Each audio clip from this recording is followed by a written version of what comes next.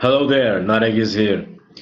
Today, I'm gonna talk about trigonometric identities. We're gonna take a few examples directly and I'm gonna show you the steps that you should follow in order to verify these trigonometric identities.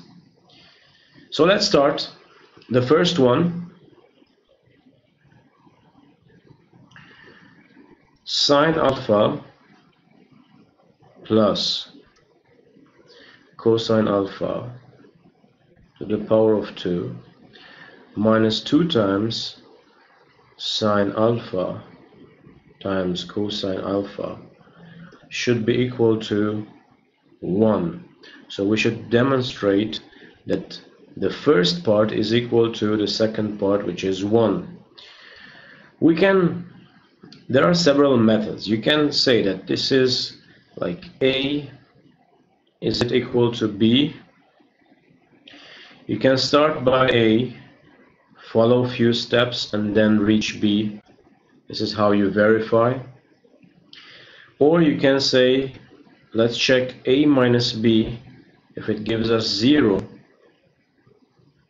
Or simply A over B is it equal to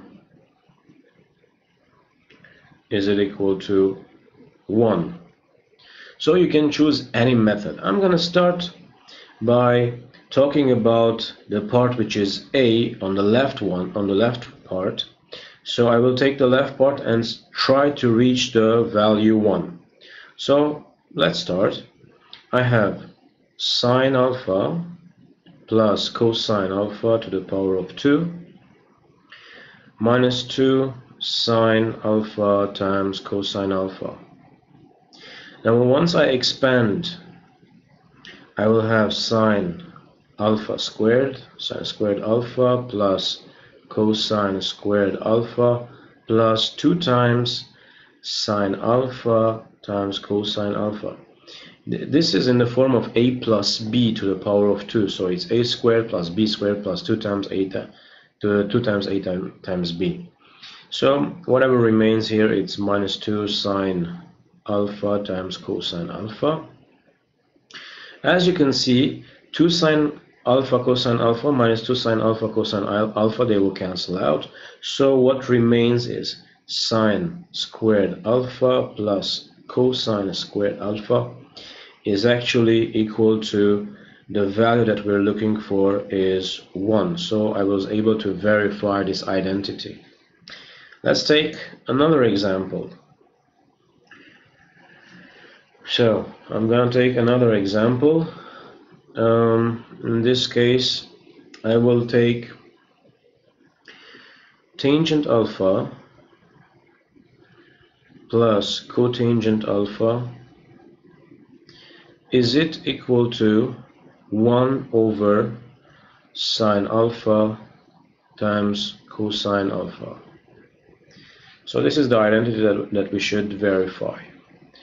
Again, we can start from A and try to reach B or A minus B, whatever you like.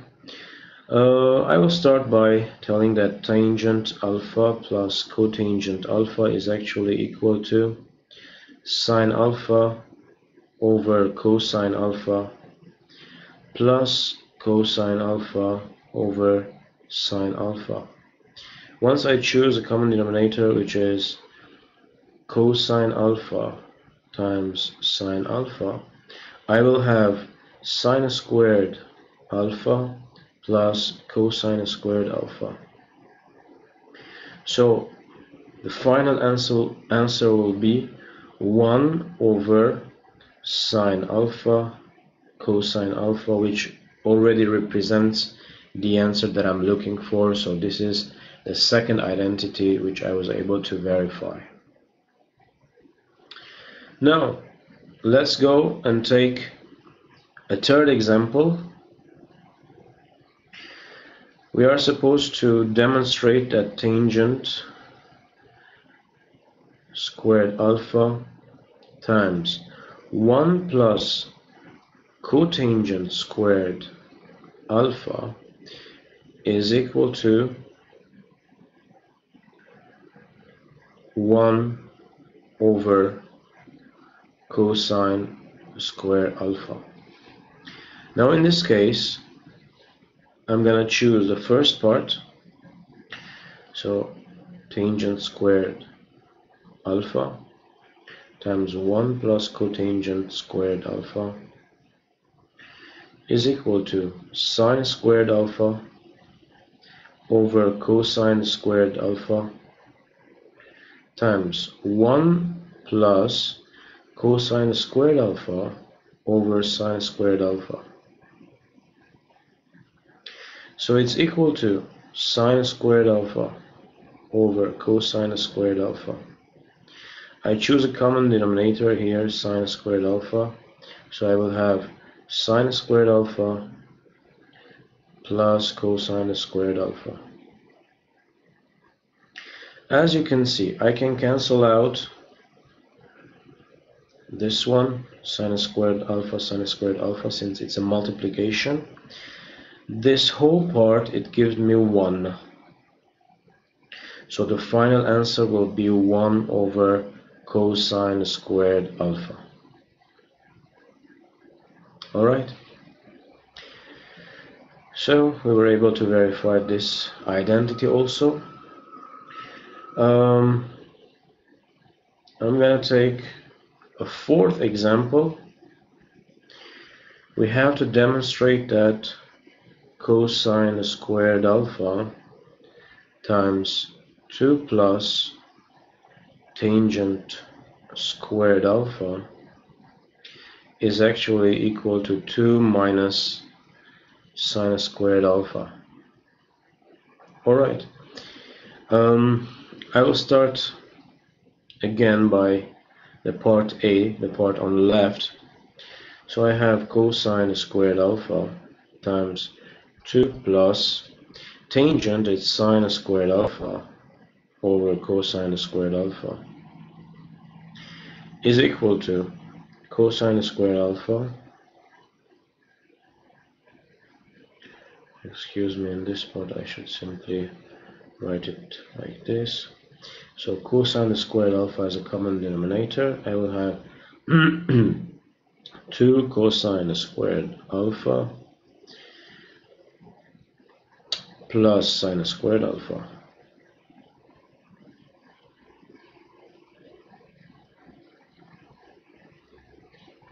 Alright now as you can see you can cancel simplify uh, cosine squared alpha and cosine squared alpha.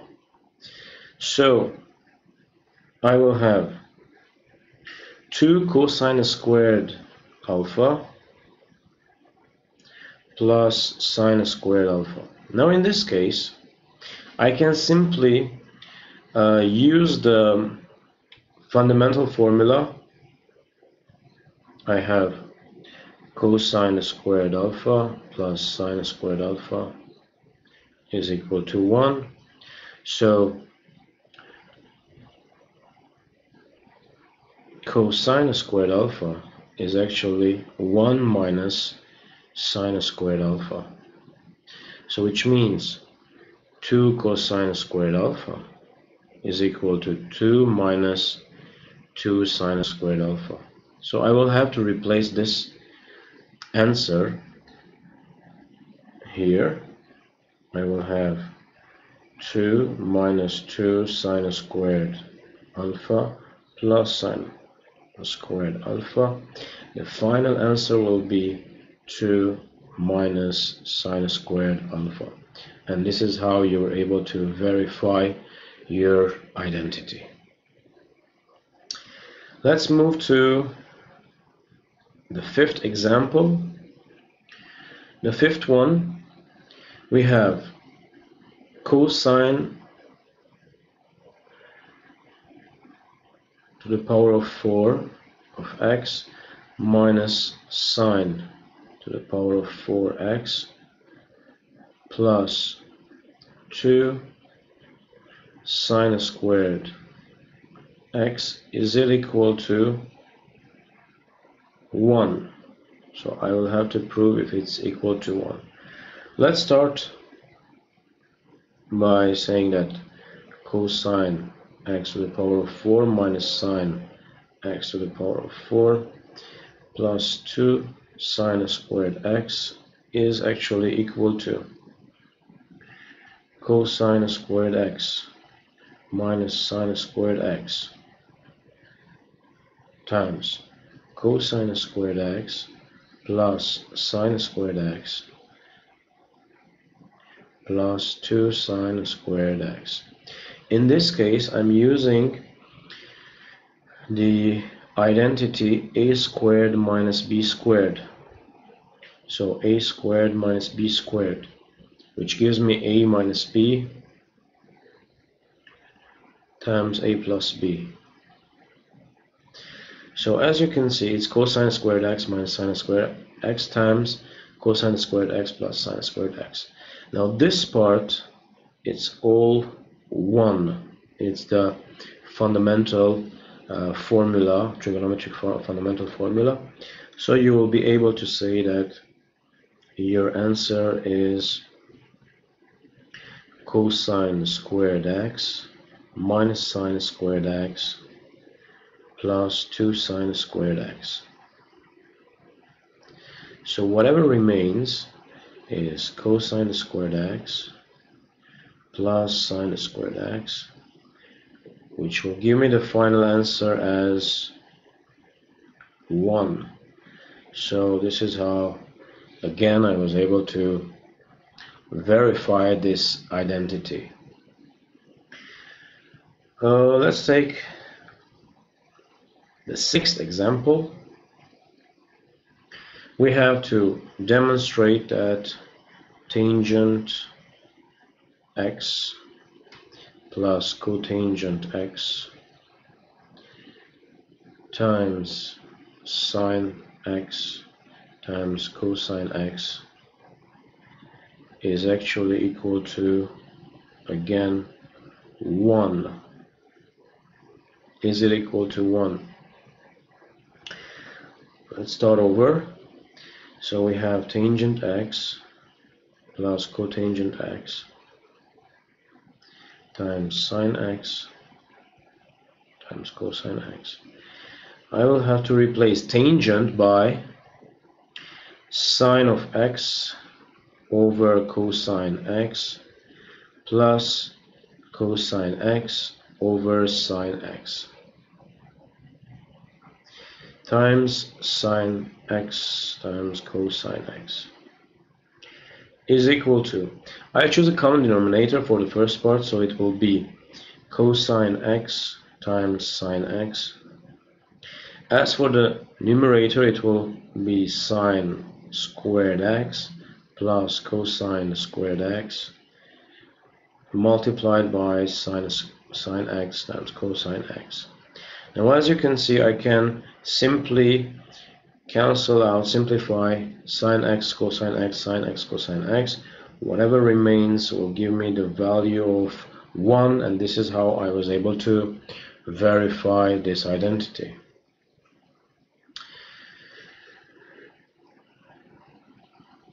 A final example, the seventh example, now this is a little bit different, it might be a little bit hard for you, but uh, I will share it with you. So you have to demonstrate that cosine to the power of 6 plus sine x to the power of 6 minus 1 is actually equal to minus 3 sine squared x times cosine squared x. So is it equal? In this case, as you can see, we have cosine to the power of 6. So um, I will have to think that it's very possible that I'm using a power um, of third degree. So initially I should have cosine squared x plus sine squared x to the power of 3 in order to obtain the power 6. So First, I'm going to simply use the formula. I'm going to remind you about a plus b to the power of 3. What does it give me? It's a3 plus 3a squared b plus 3ab squared plus b3. So this is for the third degree. Um, we're going to do the same thing with cosine and sine. So let's start. I will simply choose cosine x, cosine squared x plus sine squared x to the power of 3. So I chose cosine squared x plus sine squared x simply, you know, um, to have as a result cosine to the power of 6, sine to the power of 6. So once I expand, I will have cosine squared to the power of 3, it's going to give me cosine x to the power of 6 plus 3 times a squared. a is cosine squared to the power of 2, so it's cosine to the power of uh, to the power of 4 sine squared x plus 3 times cosine squared x times sine x to the power of 4 plus finally b to the power of 3 which is sine squared to the power of 3 sine x to the power of 6 now the initial one it's already cosine squared x plus sine squared x so it's 1 to the power of 3 is equal to cosine to the power of 6 plus sine to the power of 6 and then between these two I will simply choose a common factor. So I will choose plus 3 cosine squared x times sine squared x. Whatever remains from the first one it's cosine squared x. And whatever remains from the second one it's sine squared x. As you can see once again we were able to find cosine squared x plus sine squared x which gives me 1 so I'm very close to the answer. I'm very close to the identity. What I should do is to keep cosine to the power of 6 plus sine to the power of 6 and simply switch the places of one and the other factor. So I can write down as um, minus 3 cosine squared x times sine squared x is actually equal to cosine squared uh, cosine to the power of 6 of x uh, plus sine x to the power of 6 minus 1 so this identity is actually the same thing as the one above alright these are some simple examples of trigonometric identities that uh, you can you right now you know how to follow the steps and um, you know how to demonstrate them um, of course, you shouldn't be memorizing these identities. There are a couple of identities that, that you can simply memorize in case you want to talk about uh, cosine and, and tangent. Let's say you have the initial formula, it's cosine squared x plus sine squared x is equal to 1. Now I will divide the whole um, equation by cosine squared x. I will obtain cosine squared x over cosine squared x plus sine squared x over cosine squared x is equal to 1 over cosine squared x. The first one gives me 1 as for the second part, it's tangent. So I was able to find that 1 plus tangent x to the power of 2 is actually equal to 1 over cosine squared x. Or you can simply say that cosine to the power of 2 is equal to 1 over 1 plus tangent x to the power of 2. So these identities, um, you can memorize them in case you want to learn a relation between cosine and uh, tangent. You, we have the same thing with um, sine, of course, in case you want to calculate with sine also. It's the same idea. So we have cosine squared x plus sine squared x is equal to 1. Once you simplify the whole equation by sine squared x, you will have cosine squared x divided by sine squared x plus sine squared x divided by sine squared x is equal to 1 over sine squared x. The first one, it's going to give me cotangent. In case you don't want to get into cotangent, you can simply write that it's the reciprocal of tangent. So it's 1 over tangent x to the power of 2 plus 1 is equal to 1 over sine squared x. You can choose a common denominator, so it will be tangent to the power of 2. 1 plus tangent to the power of 2 is equal to 1 over sine squared x. Now, you can simply say that sine squared x will be equal to tangent x to the power of 2 over 1 plus tangent of x to the power of 2.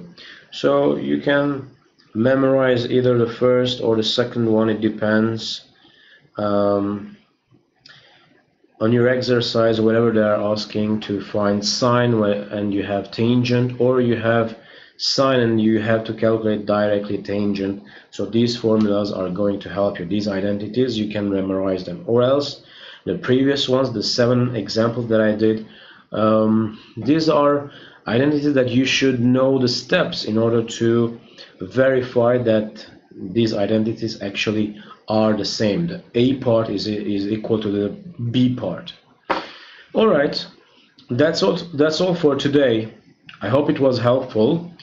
Um, I'm going to ask you to subscribe to my channel, to my YouTube channel. So I will upload new videos and whenever I have new materials uploaded, you will be notified. I can also share with you my Instagram and Facebook account in case you want to contact me, ask me any question, or you can simply leave a comment below. That's all for today, and see you next time.